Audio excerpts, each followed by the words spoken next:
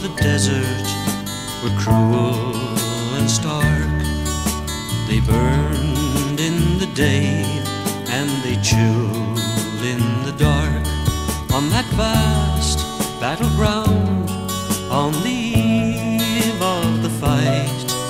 The candle that burns inspired them that night. The brine of the ocean was freezing and cold. The boys became men and the men became bold, but they died just the same in the damp and the wet. The candle that burns will not let us forget. The candle that burns in the chapel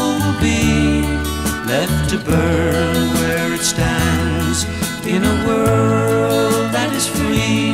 Do not cry, little one, for no one will take the candle that burns on your first birthday cake.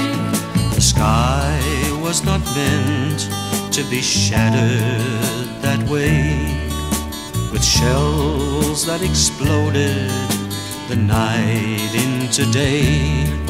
And each time they returned on a wing and a prayer, the candle that burns was a welcoming there.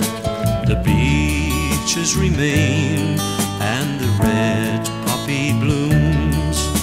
The sands they have shifted and covered the tombs of the boys resting there in the earth and the sea.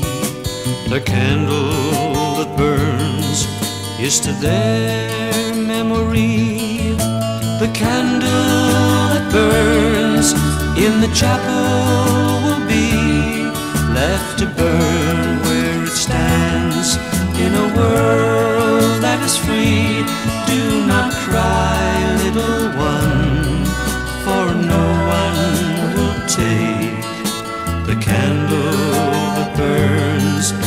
your first birthday cake.